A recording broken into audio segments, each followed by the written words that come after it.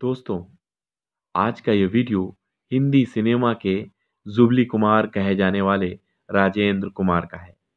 अपनी रोमांटिक अदाओं से दर्शकों का दिल जीत लेने वाले राजेंद्र कुमार भले ही आज हमारे बीच नहीं है, लेकिन उनका गाना हर शादी की शान बन जाता है। बहारों फूल बरसाओ मेरा महबूब आया है। ऐसा गाना बन गया जिसके बगैर हर बारात अधूरी है। खैर, आज हम बात करेंगे कि कैसे राजेंद्र कुमार फ़िल्मों में आए और क्यों उन्हें सस्ता दिलीप कुमार कहा जाता था। साथ ही ये भी बात बताएँगे कि किस फ़िल्म के बाद लोग उन्हें मुसलमान समझने लगे थे। एक ऐसा बंगला जिसे लोग भूतिया बंगला कहते थे और कैसे उस भूतिया बंगले ने राजेंद्र कुमार की किस्मत ही पलट दी। जब भारत रत्न, सहनाई वादक बिस्मिल्ला खां ने राजेंद्र कुमार से पहली मुलाकात की तो आखिर क्या कह दिया राजेंद्र कुमार से? तो नमस्कार दोस्तों, स्वागत है आप सभी का आपके अपने favourite YouTube channel beautiful Bollywood में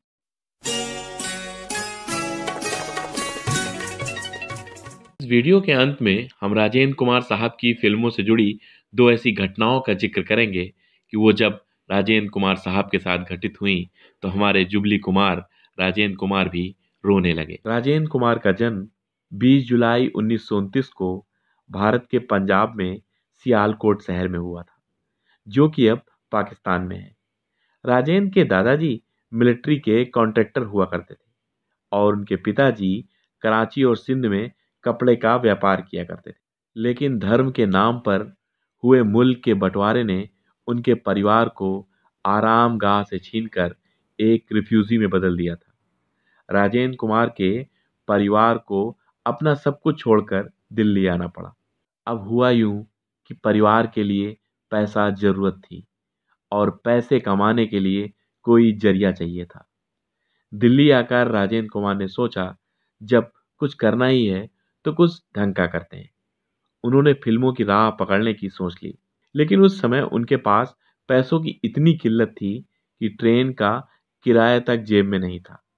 राजेंद्र कुमार ने अपने मन का काम करने के लिए अपनी कलाई से घड़ी उतारी और उसे पैंसठ रुपए में बेच दी। अपने सपनों को पूरा करने के लिए ट्रेन पकड़ी और पहुँच गए सपनों की नगरी बम्बई अब मुंबई पहुँचने के बाद बहुत दिन तक तो स्ट्रगल चलता ही रहा। उसी बीच उनकी मुलाकात हुई डायरेक्टर एच एस रवेल से। राजेंद्र कुमार जब बॉलीवुड में असिस्टेंट डायरेक्टर के रूप में काम कर रहे थे उसी दौरान डायरेक्टर केदारनाथ शर्मा की नज़र राजेंद्र कुमार पर पड़ी और उन्होंने अपनी फ़िल्म जोगन के लिए उन्हें साइन कर लिया।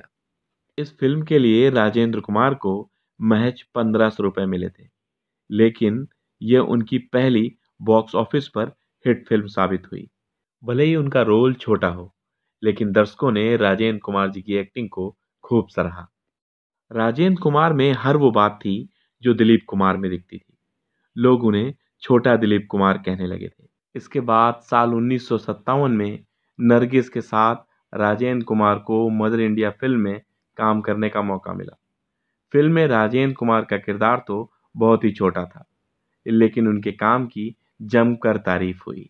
जल्दी राजेंद्र कुमार एक स्टार की तरह उभर कर सामने आए। वैसे आपको जानकर हैरानी होगी कि जब डायरेक्टर एच एस रवेल ने सहायक के तौर पर राजेंद्र कुमार को रखा था तो महज 150 रुपए की तनख्वाह पर उन्हें नौकरी दी थी। उनके पास हिट फ़िल्मों की लंबी कतार थी। साजन बिना सुहागन, बिन फेरे हम तेरे, गंवार, गूंज उठी सहनाई, कानून, धूल का फूल, दिल एक मंदिर, मेरे महबूब जैसी, न जाने कितनी हिट फ़िल्म दे डाली। अब बात ही बात में जब फ़िल्म मेरे महबूब का नाम आ गया तो चलिए इससे जुड़ा एक किस्सा भी शेयर कर लेते हैं। मेरे महबूब में राजेंद्र कुमार के किरदार का नाम था अनवर। और उन्होंने इस किरदार को इतना बखूबी निभाया है कि लोग उन्हें मुसलमान समझने लगे। उस समय अफवाहों का सिलसिला इतना गर्म था कि लोग कहने लगे थे कि जैसे दिलीप कुमार साहब ने फ़िल्मों के लिए अपना नाम यूसुफ से दिलीप कर लिया। उसी तरह राजेंद्र कुमार साहब ने अपना नाम अनवर से बदल कर राजेंद्र कर लिया। जब वो फ़िल्मों में काम करने के लिए मुंबई में रहने लगे, उस दौरान उन्हें कार्टर रोड पर एक खाली बंगले के बारे में पता चला। वो तुरंत उस बंगले को खरीदने की जुगत में लग गए। उस घर को लोग भूतिया घर मानते थे। इस भूतिया घर में शिफ्ट होने के बाद राजेंद्र कुमार की मानो किस्मत ही बदल गई। उनकी फ़िल्में लगातार हिट हो रही थी। पर दोस्तों, वक्त एक सा कहाँ रहता है? एक वक्त ऐसा आया जब राजेंद्र कुमार की फ़िल्में चलना कम हो गई थी। इसकी वजह थी फ़िल्म इंडस्ट्री में आए एक नए चेहरा। उनका नाम था राजेश खन्ना। जी हाँ राजेश खन्ना की फ़िल्में उस दौर में काफ़ी पसंद की जाने लगी थी। समय वो भी आया कि राजेंद्र कुमार ने बतौर प्रोड्यूसर भी कई फ़िल्में बनाई। उन्होंने अपने बेटे कुमार गौरव को अपने बैनर से ही बॉलीवुड में लॉन्च किया। यह फ़िल्म थी लव स्टोरी।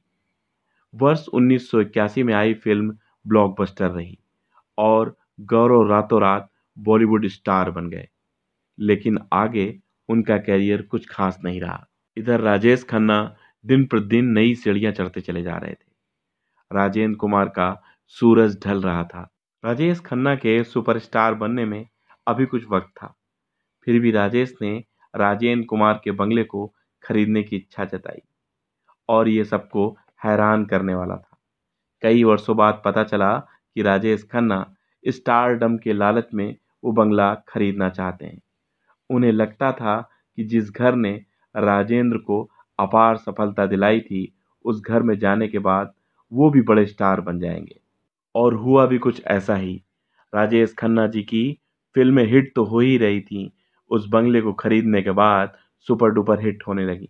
जब राजेंद्र कुमार साहब का स्टारडम आसमान पर छू रहा था, तभी उन्होंने एक फ़िल्म की गूंज उठी सहनाई इस फ़िल्म में उन्होंने सहनाई वादक की भूमिका निभाई। वैसे राजेंद्र कुमार साहब ने फ़िल्म के लिए सहनाई तो नहीं सीखी, लेकिन सहनाई बजाने के एक्सप्रेशन ज़रूर बिस्मिल्ला खां साहब से सीखे। सहनाई वादक बिस्मिल्ला खां साहब के हर एक एक्सप्रेशन को राजेंद्र जी ने कॉपी किया, चाहे वो कंधा हो या सहनाई को उठाकर बजाने की अदा हो।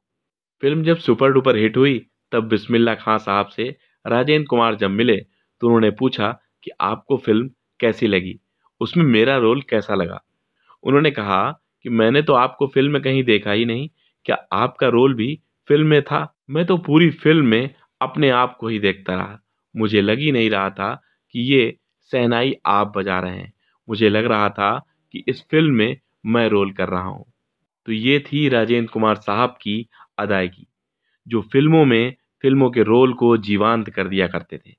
वैसे राजेंद्र कुमार साहब ने 80 फ़िल्में लगभग की, उसमें से 35 फ़िल्में सिल्वर जुबली रहीं। राजेंद्र कुमार साहब कहते थे कि जब वो फ़िल्म में एक्टिंग करते हैं तो फ़िल्म को ही खाते हैं, फ़िल्म को ही पीते हैं, फ़िल्म को ही ओढ़ते हैं और फ़िल्म को ही बिछाते हैं। इसकी मिसाल उनकी फ़िल्म कानून से मिलती है। जब बी आर चोपड़ा और राजेंद्र कुमार साहब कानून फ़िल्म देखकर मिनरवा टाकीज से निकल रहे थे। तभी उनके पैरों पर एक गरीब आदमी आके रोने लगता है। कहता है, साहब, मेरा बेटा निर्दोष है। प्लीज़ उसका मुकदमा लड़ लीजिए। मेरा बेटा निर्दोष है। और यही कहता रहा और चिल्लाता रहा। राजेंद्र कुमार साहब कहते रहे कि, नहीं भाई, मैंने तो सिर्फ़ एक्टिंग की है। मैं कोई वकील नहीं हूँ। फ़िल्म आरज़ू से भी जुड़ा एक ऐसा ही किस्सा है, जब डायरेक्टर रामानंद सागर साहब आरज़ू फ़िल्म बना रहे थे और हीरो थे राजेंद्र कुमार साहब। फ़िल्म रिलीज़ हुई और सुपर डुपर हिट हुई। कुछ दिनों बाद रामानंद सागर साहब के ऑफ़िस में एक लड़का आया और रामानंद सागर साहब ने उस लड़के की पूरी कहानी सुनी।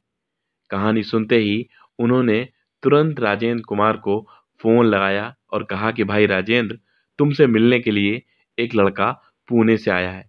तुरंत जल्दी से जल्दी ऑफ़िस पहुँच जाओ।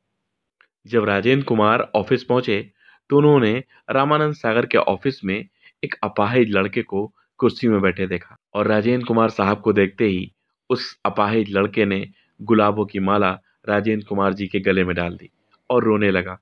कहने लगा, सर सर, मेरी एक्सीडेंट में टांग कट गई थी और मैं आत्महत्या करने वाला था।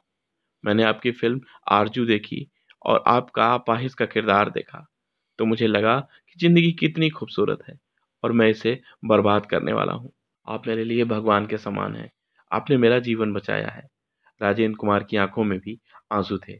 उन्होंने कहा, अरे भाई, मैंने तो सिर्फ़ अभिनय किया था। असल ज़िंदगी के हीरो तो तुम हो। अभिनय करते तो उस किरदार में पूरी तरीके से खो जाते थे। राजेंद्र कुमार साहब को उन्नीस सौ उनहत्तर में भारत के सर्वोच्च सम्मानों में से एक पद्मश्री अवार्ड से नवाजा गया। इकहत्तर साल की उम्र में राजेंद्र कुमार का सन उन्नीस सौ निन्यानवे में निधन हो गया। बेटे के जन्मदिन के अगले ही दिन एक्टर की मौत हो गई, जबकि आठ दिन बाद राजेंद्र कुमार का बहत्तरवां जन्मदिन था।